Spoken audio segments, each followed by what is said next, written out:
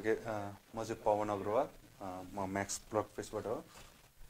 Okay मेरो प्रेजेन्टेसनको topic आज how to make WordPress plug in development easier first of all हामीले के गर्छौँ भन्दाखेरि प्रायः जस्तो नन प्रोग्रामर या धेरै जस्तो युजर कुनै प्र प्रब्लम भयो भने हामी प्रायः जस्तो कहाँ जान्छौँ गुगलमा वर्डप्रेसको गुगल मैले केलाई एज्युम गर्छु भन्दाखेरि वर्डप्रेसको जुन चाहिँ प्लगइन डाइरेक्टरी छ वर्डप्रेस एक्सटेन्समा त्यसलाई चाहिँ मैले एज अ वर्डप्रेसको प्रोग्रामिङ गुगल भनेर भन्छु।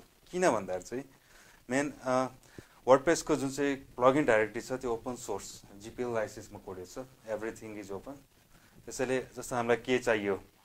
फर इक्जाम्पल मलाई एउटा थेम नै बनाउनु पर्ने छ जुन चाहिँ म कुनै फङ्सन र साइड बारमा कुनै मजाले पोस्टहरूको लिस्टेड लिस्टिङ चाहिरहेको छ।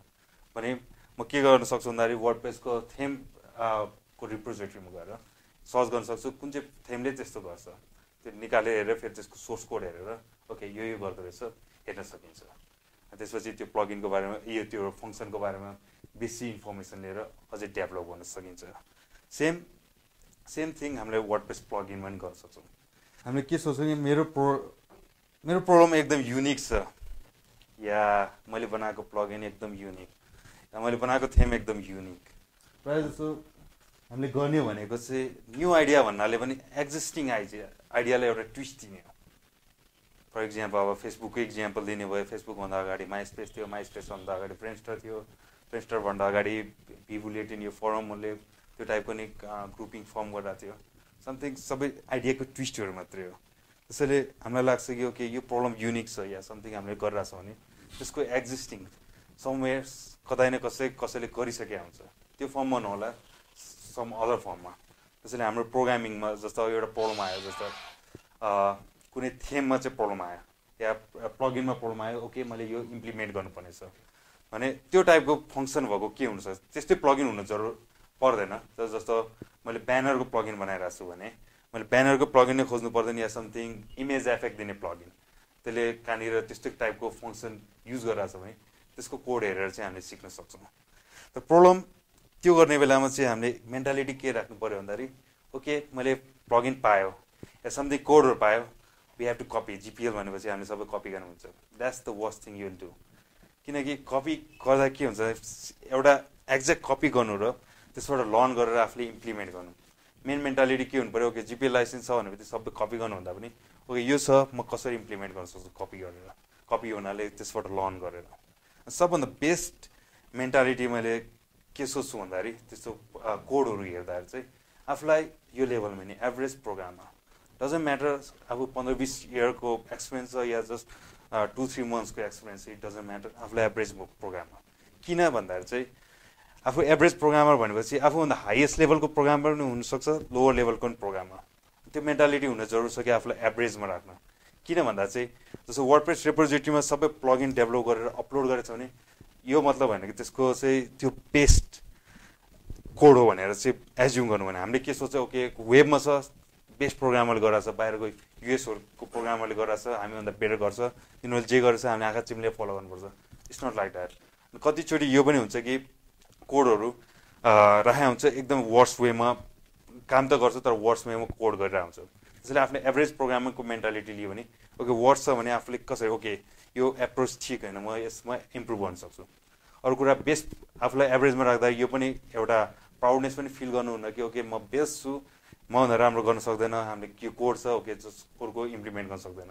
अर्को हेर्दा चाहिँ अर्को राम्रो छ भने ओके मेरो एप्रोच रङ रहेछ या मेरो एप्रोच नराम्रो रहेछ I can learn from it त्यो चाहिँ एप्रोच लिएर हामीले जस्तो वर्डप्रेसको गुगल जस्तो वर्डप्रेसको प्लगइन रेपोजिटरी थेमको प्लगइनमा गऱ्यो भने हामीले डेभलप गर्न सक्छौँ। अर्को कुरा वर्डप्रेस भनेको जस्ट पिएचपी इट्स नट वर्डप्रेसको लागि डेभलप गर्छ भन्दा ओके वर्डप्रेस वर्डप्रेसको लागि एकदम राम्रो हुनुपर्छ। त्यो जरुरी छैन। वर्डप्रेस इज जस्ट पिएचपी पिएचपीको फङ्सनहरू छ just more organize form of PHP या एउटा कोल लिएर हिँडेको पिएचपी स्क्रिप्ट मात्रै हो। अब त्यो वर्डप्रेसको प्रोग्रामिङलाई एउटा कुरा मात्रै हामीले समेट्ने भयो भने हुक्स द्याट्स पिएचपी प्रोग्रामबाट वर्डप्रेस प्रोग्राम बन्न छ भने you just have to learn hooks that's all अरू केही गर्नु पर्दैन।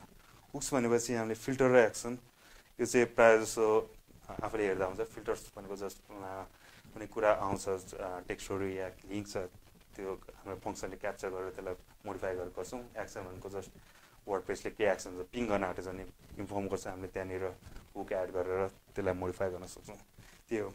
र problem word page open source प्रायः जसो वर्क डेभलपमेन्टमा हुन्छ डकुमेन्टेसनमा खासै वर्क देखेको छैन मैले। वर्ड पेजको आफ्नो विकीमा छ डकुमेन्टेसन तर सबै उसको छैन। त्यो एउटा प्रब्लम छ। तर वान अफ द मैले धेरै पहिलादेखि एउटा वेबसाइट मलाई एकदम मनपर्छ। म पछि लिङ्क दिन्छु।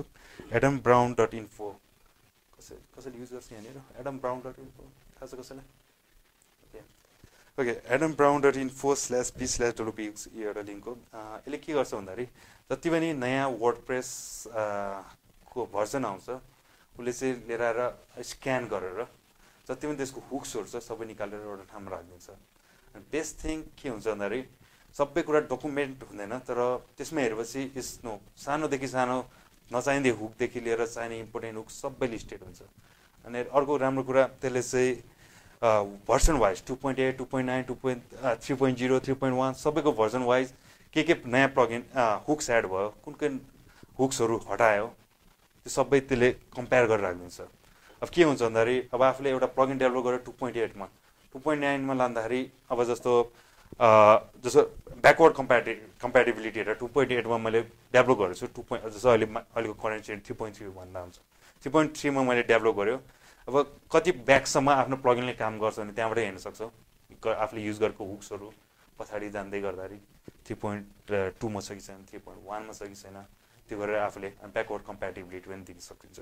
त्यो चाहिँ एउटा बेस्ट वे हो हुक्सहरू लर्न गर्ने तरिका। अनि अर्को चाहिँ ट्राई एन्ड एरर जस्तो एउटा हुक्स छ त्यसलाई हुकलाई जस्ट नाम मात्र हुन्छ। अब मैले भने डकुमेन्टेसन सबैको हुँदैन। जस्तो अब गेस्ट गरेर मैले पोस्टसँग रिलेटेड मैले के गर्नुपर्ने छ? पोस्टसँग त्यसमा सर्च पनि गर्नु मिल्छ। पोस्टसँग रिलेटेड सबै हुकलाई सर्च गऱ्यो अब त्यसको इन्फर्मेसन लिन सक्यो भने हल्का डिस्क्रिप्सन चाहिँ हुने हुन्छ त्यसमा तर फुल डिस्क्रिप्सन हुँदैन। लाग्छ ओके एडिट पोस्ट भन्ने समथिङ छ हुक या समथिङ के छ भने। ओके यसले समथिङ आफूले नामले मात्र गेस गर्न सकिन्छ। सकिँदैन भने त्यसलाई अब अगेन चन्द्र दाले भने जस्तै गुगलमा गएर त्यो सर्च गरेर हेर्दा हुन्छ काहीँ कसैले डकुमेन्ट गरेर चाहिँ कहाँ आफ्नो ब्लगमा राखेको छ कि। नत्र सबभन्दा काहीँ पनि भेटेन भने सबभन्दा बेस्ट वे जस्ट वर्ड पेजको आफ्नो कोड फाइल हेर्ने त्यहाँनिर कुन चाहिँ फाइलमा छ त्यो हुकको फङ्सन त्यहाँ गएर अलिकति रिड गऱ्यो भने ओके अन्डरस्ट्यान्ड गर्न सकिन्छ के गर्दो रहेछ भनेर आफूले युज गर्न सकिन्छ। ओके मेरो प्रेजेन्टेसनको टपिक नै यही थियो कि ओभरअल रिक्यापमा चाहिँ के भन्न सक्छु के भन्न चाहन्छु भन्दाखेरि जहिले यो याद राख्ने कुनै प्रोग्रामिङको प्रब्लम आउनु बित्तिकै वर्ड प्रेस रिलेटेड वर्ड प्रेसको गु गुगल भनेको वर्ड प्रेसको प्लगइन डाइरेक्टरी या थेम डाइरेक्टरी हो। आफूले चाहेको फङ्सनहरू कुनै पनि जस्तो बुझेछ नि या समथिङ गर्न खोजेको छैन भने अरूको इक्जाम्पल हेरेर लर्न गर्ने। अर्को कुरा चाहिँ वर्ड प्रेस डेभलपमेन्ट भनेको नि हुक्सलाई मास्टर गर्ने हो। ओभरअल पिएचपी प्रोग्रामिङ सबैले जानेकै हुन्छ। जस्ट वर्ड प्रेसमा चिन्नुलाई जस्ट हुक्स मात्रै। द्याट्स अल वर्ड प्रेससँग कुरा गर्ने ल्याङ्ग्वेज नै त्यो हामीले वर्ड प्रेसको हुक्ला भन्छ यो गर वर्ड प्रेसले गरेर दिन्छ। अनि हामीले मोडिफाई गरेर यो हामी यसरी चाहन्छौँ। That's all WordPress programming